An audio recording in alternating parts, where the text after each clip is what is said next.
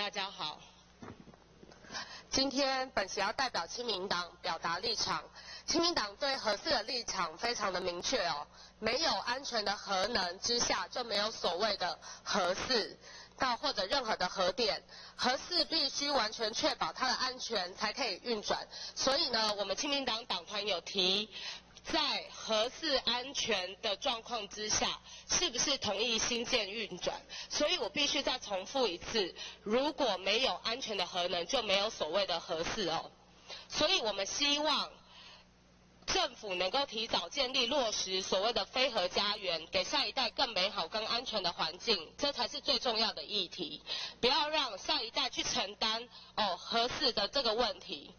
所以呢，核四这个问题应该先经过正反双方认可，而且据公信力的专业调查之后，认定没有无没有任安全没有任何的问题之后，立法院才应该开始讨论核四运转的这个问题。立法院参酌调查意见议决后，才决定是否要交给人民来复决。那我们马总统跟江院长啊，他虽然不是核电专家，但是我绝对相信他们有专业的团队，可以去提供给他们最正确的资讯。那江院长前几天带着官员跟记记者哦，好像是参观观光工厂一样，去了之后呢，他要台电人员拿出人格跟生命来保证他们在核市场的专业工作是要经得起考验。那这代表什么？代表政府其实知道。人民对核四安全其实是存有很大的存那个疑虑，所以针对核四进行安全的调查是绝对的必要哦，跟行为，政府应该有责任去告诉全国的人民核四真实的内容是什么，什么是真的，什么是假的。如果没有办法取决于人民，那就由赞成跟反对核四双方各找出彼此认可。而且具有公信力的专家针对核四进行彻底的调查。我再次强调，马总统，请你不要躲在总统府里面去下指导棋，而且做的一些都是对人民不利、错误的判断。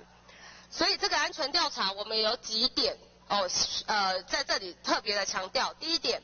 必须资讯透明；第二点，必须有公正客观的证据；第三点，必须透过国际级专家的严格检视。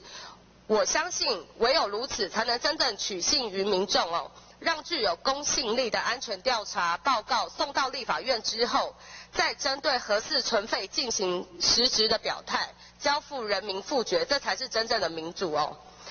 国民党常利用程序委员会多数优势强行去决定哦，然后去否决民进党跟亲民党的一个提案。但台湾的人民近七成对核四的安全疑虑，其实是还没有消除的。国民党立委一方面说新建核四是政府既定的政策，一方面又说要交由全民公投，这两个根本就相互矛盾，显示国民党根本利用在公投反核，但实质它是实际永和，假公投之手，却要让核四继续兴建。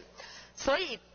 亲民党党团。在这里，敬请本院决议，本院应即依立法院组织法第十条之规定，增设核四安全调查特种委员会，其任务、组成、运作及时程由院长召集朝野协商，尽速议定。那我想在这边，我们要再次的重申。我们应该要提早落实所谓的非核家园，让下一代有一个更完整、更安全的环境，才是最重要。